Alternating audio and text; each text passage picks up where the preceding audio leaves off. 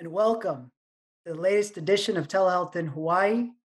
My name is Vikram Acharya. I'm the Chief Executive Officer of Cloudwell Health, an all virtual telemedicine company based out of Hawaii.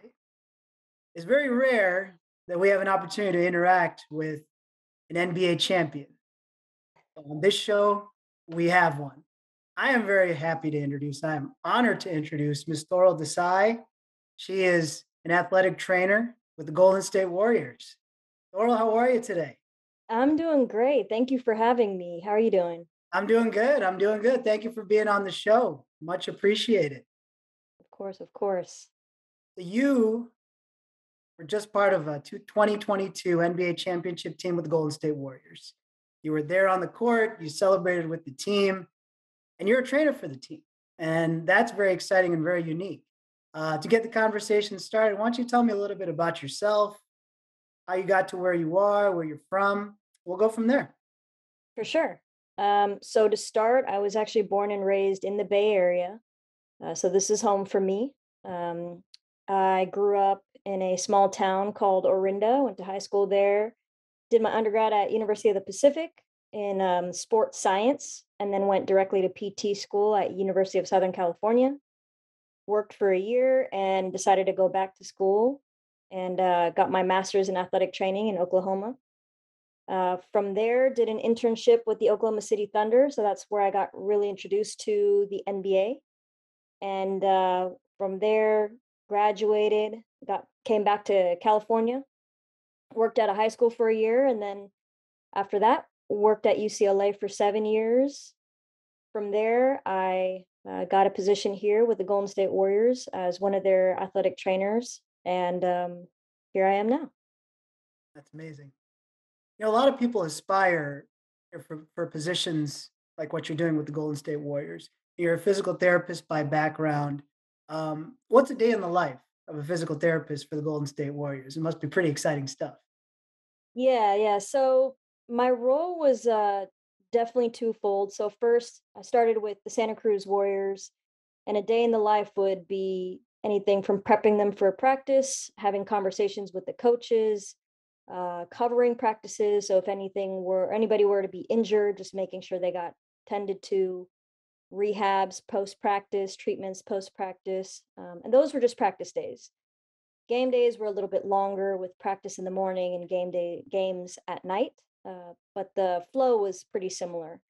So that was for athletes who were participating, and then of course from my PT background, for those who were injured or coming back from surgery, uh, I had the ability to create programs to get them back to full. So that was with Santa Cruz and with Golden State. It was similar um, in that I helped with practices, covering uh, games, and I got the uh, chance to go to Boston with them for the finals, which was incredible. So helping with everything on the road as well.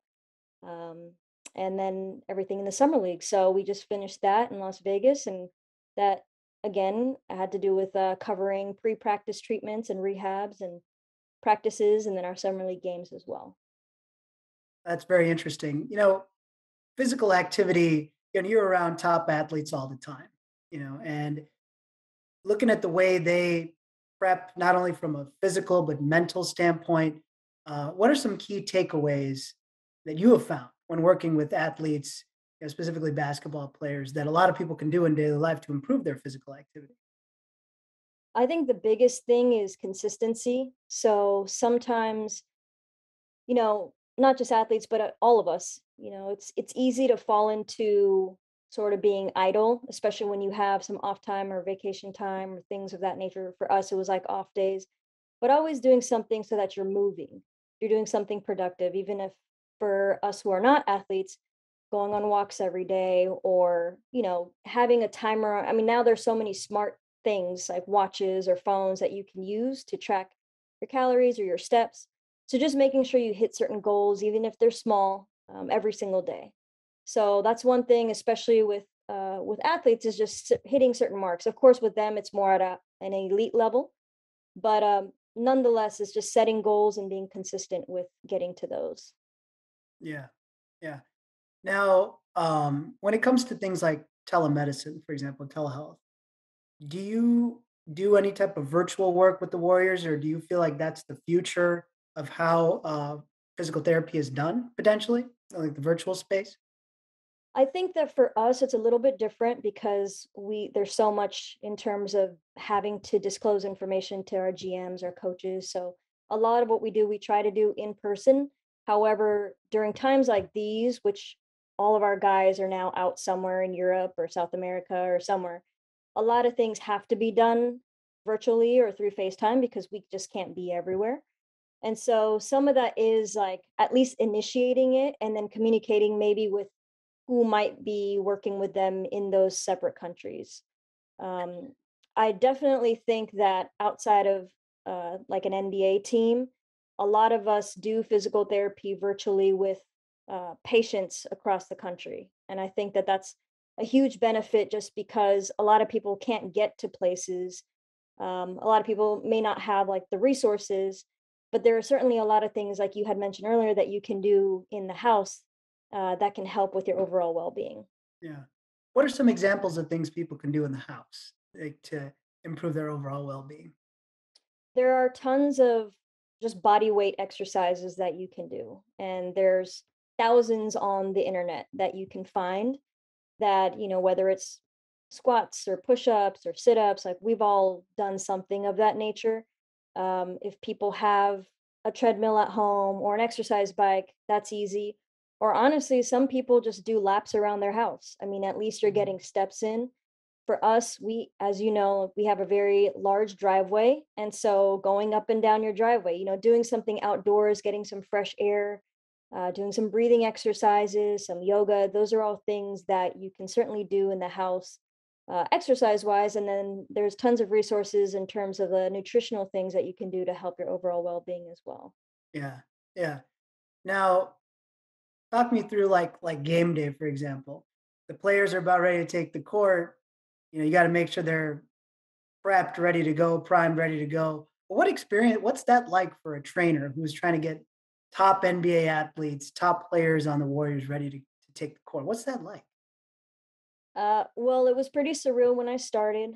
Uh, but I mean, again, it just kind of goes back to consistency, making sure Mhm. that every practice is important. And if every practice is treated as such, then games kind of follow suit. So making sure that energy stays and making sure that the guys are physically and mentally in the right place prior to entering the court. So um, it's definitely something that I was prepped for at UCLA. So the transition actually wasn't too difficult because my mentality was the same and so, and all these athletes, the athletes that I worked with at UCLA were female and male, um, and working into the NBA with it all being guys, like mentality is pretty similar. They want to win, you know, and we're there to help them reach their goal. So just making sure we bring that same energy um, and expectations uh, and consistency again. That's what helped kind of get them to where they needed to be.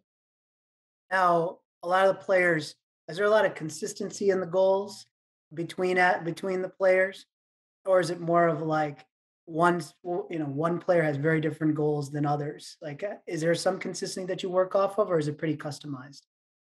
Uh, I mean, everybody is so different as individuals. There are some guys on the team that are a little bit more outspoken about their goals, some guys that are a little bit more quiet, but you appreciate everybody's differences. And I think ultimately, especially with the Golden State Warriors and the Santa Cruz Warriors, the ultimate goal was to win basketball games. Um, but one thing that I admire about kind of the framework of the Golden State Warriors is their biggest thing is bringing joy to the gym. So, as much Mhm. as you want to win, you got to do that in a way that brings you joy. And what brings me joy may be different than what brings a person next to me. So, it's really finding those individual pieces. And I think if people can continue as much as they can with that mentality, I think that that helps with the overall um, goal of the organization. Yeah, you know, it's bringing joy to the gym. It's it's interesting you mentioned that about the Warriors because a lot has been written about the team culture there. Um, you know, as a trainer, somebody who works very closely, very embedded in the organization, what type of positive attributes are there about the Warrior team culture that you really identify with? I think for me, being a first year athletic trainer with the organization, the thing that really sort of caught me off guard was because you hear about the great culture and you hear about so many positive things, but then when you experience it, and for me, it's, you know, there aren't too many women yet um, in my role, but being a woman of color on the on the performance team, um, I never felt uh, like I was isolated. I was always included in a lot of things. As soon as I got there, Coach Kerr got to know me, understood my name, you know, learned my name, wanted to know how I was doing. Turns out we have some mutual friends, you know, like things like that where Mhm. he really cared about who you were and he didn't have to do that. You know, who am I? I'm just somebody that's sort of new. Yeah. But that kind of followed suit with everybody, whether it's a video coordinators, um, obviously my colleagues, but the athletes themselves too. You know, they they kind of saw what their leaders in these different positions were doing and and followed suit with that. So, and it's the consistency of that. You know, it wasn't just on day one he said that and then paid me no mind. It was he was like that throughout the whole season that I was there. That's amazing that, you know, Coach Kerr really just does a great job of connecting not only with the players, but also everybody on the staff as well, it sounds like. Yeah, for sure. And I mean, again, I worked with him um, and the Golden State uh, team from pretty much April through now. Um, but from October through April, even when I was with Santa Cruz, the same hold held uh, true for all the athletes. And we had a coach, or we have a coach. His name is Seth Cooper.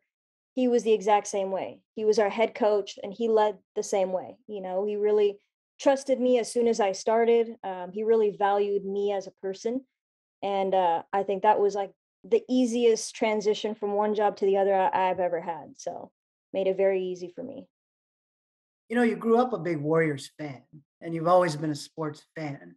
Um, did you always have like uh, long-term aspirations to work in the NBA, let alone an NBA champion? Did you kind of set a set some goals for yourself that this is where you want to be at certain uh, time markers in your life? For sure. I didn't have a timeline because when I was younger, it just seemed so far-fetched. So I was like, I don't know when this is going to happen, Mhm. but I'm going to make sure this happens. Um, and lo- a lot of that stuff I kept to myself, or I just told a few close friends, just because it seemed, especially for like a five one Indian woman, so far-fetched when we were kids that I didn't really tell too many people. But I always had that in my mind that this is just something that I'm going to do. Yeah, So. yeah, because that requires a significant amount of determination and focus, you know, so you must have put a lot of hours into not only uh, developing your craft as a physical therapist, but also the networking side as well, I would think, right? Yeah, for sure. I think for me, I always tell people you can be really skilled at what you do, but if you don't genuinely build good relationships and treat people well, it's only going to take you so far. Like for me, I think that um, being able to connect with people is the biggest asset that you can be as a healthcare provider. Because even for me with athletes, if I just know a lot of stuff, but I don't know how to put two and two together and connect with an athlete, there's that trust factor. So they won't trust me. You know, Yeah. so um, yeah, so it took a lot of that, a lot of blood, sweat, tears, and consistency and perseverance, and a lot of closed doors before uh, getting one to open. You know, we talk a lot about, um, especially in healthcare, to your point, the relationship with the patient. Um, what is that like uh, when you're treating a patient like an NBA champion? You know, is it uh, what's it like? I'm sure they confide in you, and th- there's a, just a lot of. It's a very intense environment that you're working with to begin with, let alone trying to take care of a patient who's also an NBA champion and a top athlete, whether even at you know UCLA or for the Warriors. And what's that relationship like?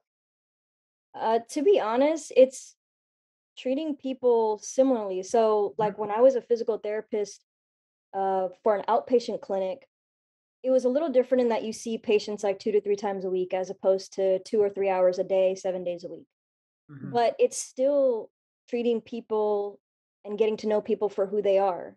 The guy, these guys are NBA players and NBA champions, but they are great human beings first. And mhm. so, really trying to get to know them uh, like I did at UCLA and like I did in my outpatient facility. It's it's similar because they're you know people first. We're all people first, and our profession kind of comes.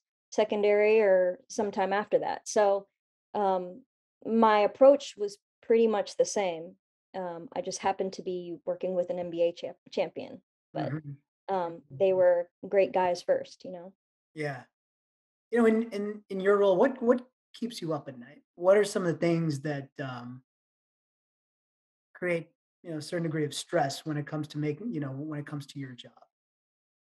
I think, like any healthcare professional, you always want to make sure you're giving people the best. And so sometimes, if like an outcome isn't exactly how you had foreseen it to be, um, I think that has been stressful in the past. But um, because I've gone through multiple things of that in my like 10 year career of being a physical therapist and athletic trainer, you find ways to compartmentalize it and figure out different avenues. And again, to your point about networking, making those phone calls with people who may have been able to deal with similar similar situations or outcomes. Um, but those are things in the past that have kind of, uh, in a, in some ways, kept me up at night. Is making sure that I'm giving them the best or finding a solution if it didn't um, turn out as I wanted. Yeah, yeah.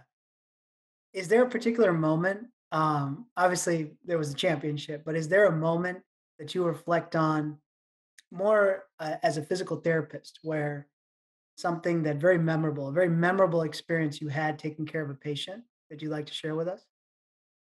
Um, yeah, I mean, for me, a lot of those came at UCLA because I was there for seven years. So hmm some of these athletes I saw from when they were freshmen to seniors, and um, I know I had a couple athletes who I had to uh, rehab back from a surgery to full go. And uh, th- one of the coolest moments is one of those athletes starting with um, a surgery in the summer and then fast forward to May and us doing a whole lot of rehab every single day, um, winning a national championship, and that athlete being one of the top players. Um, that was she won an award and all of that. So I think that was my biggest. Uh, selfishly, I was like, I'm. I felt like I was a small part.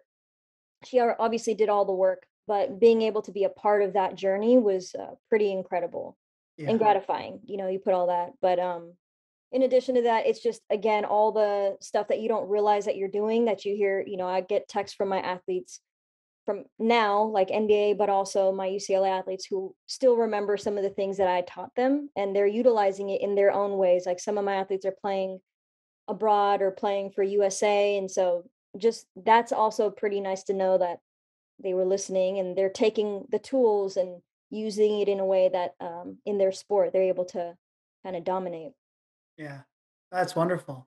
You know, we've we've talked a little bit about the steps that um, people can do physically to take care of themselves.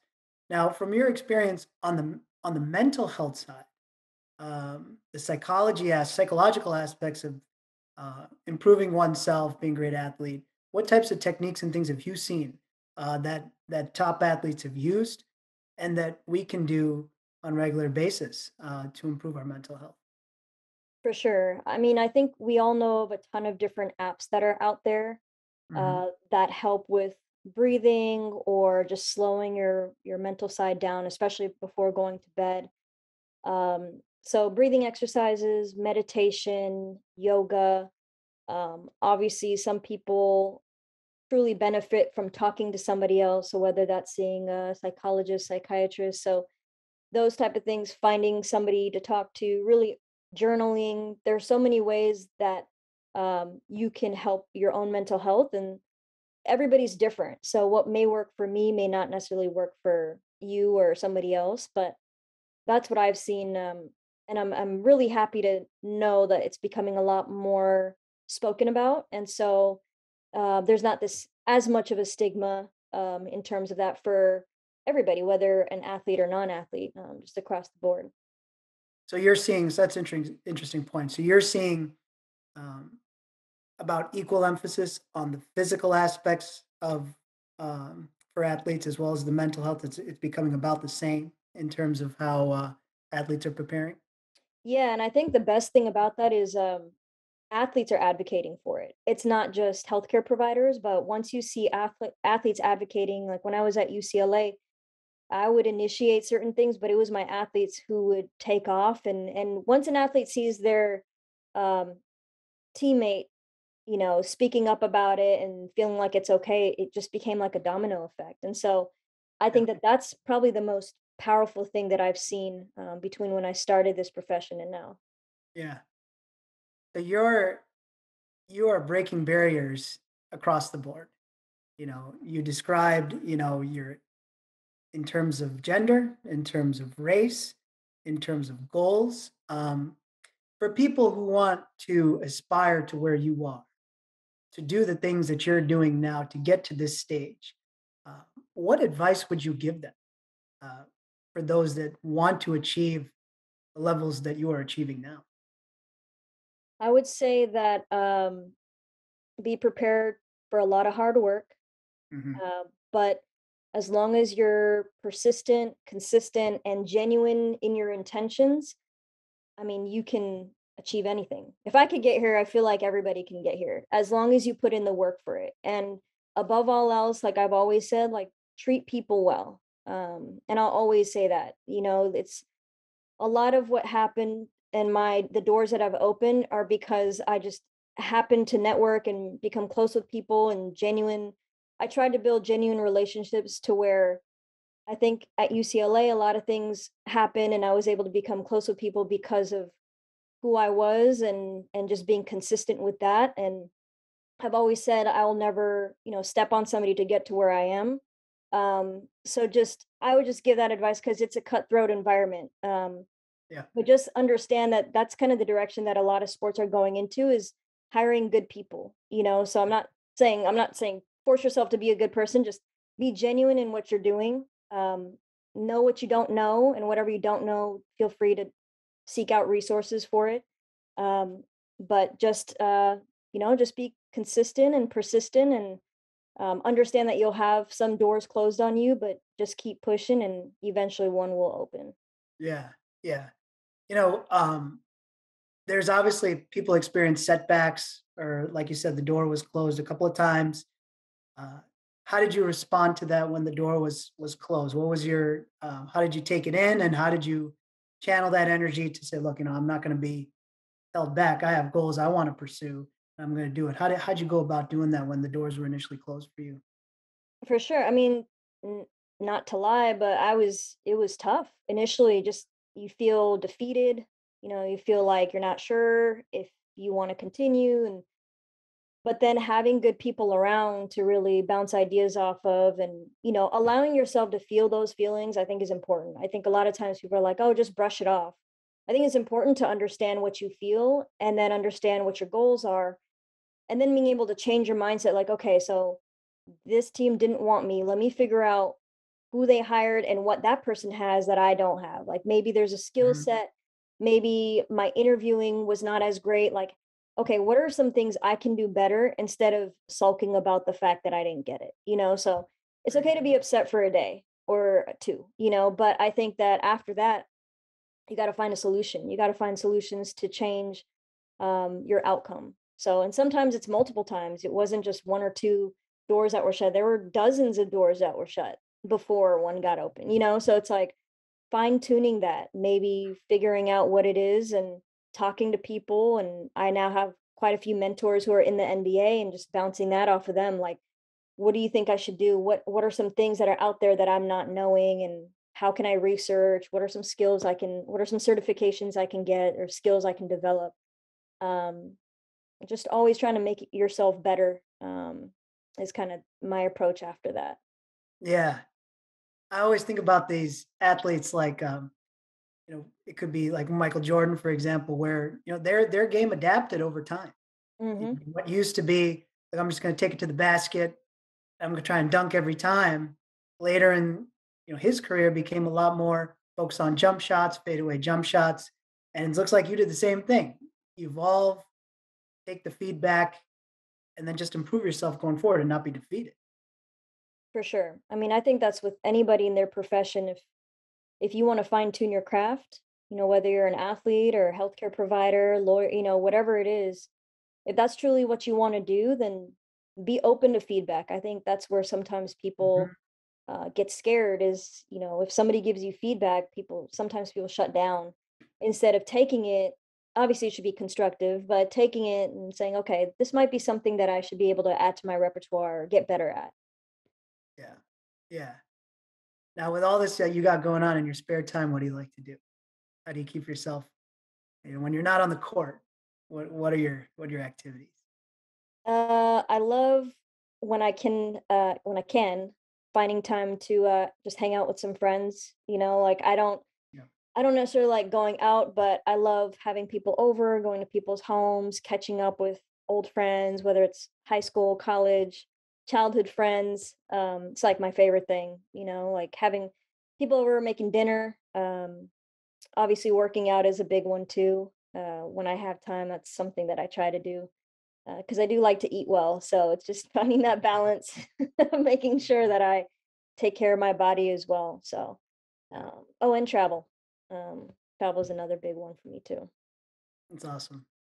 You know, Toral, it's um, you know, we we've known each other a long time, but your perseverance, your dedication to your craft, your dedication to the people around you, um, you've come so far, you know, to be able to to hoist an NBA trophy as the trainer for the Golden State Warriors and everything you've gone through uh, to get to this point. I mean, I just really want to thank you for being on the show and talking about your experiences. I mean, it's just incredible. It's an incredible story, not just to hear about, but for many people to learn from.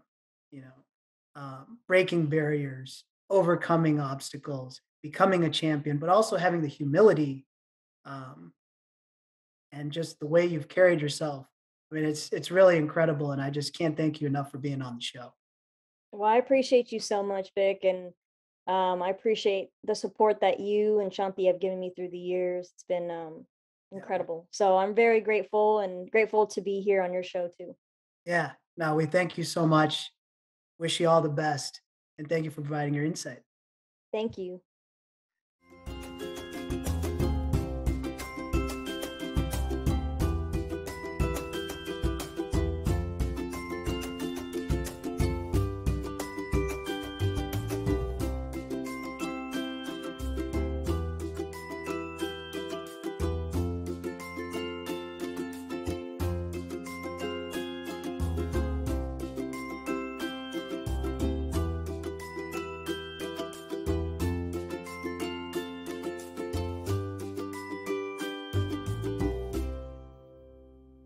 Thank you so much for watching Think Tech Hawaii.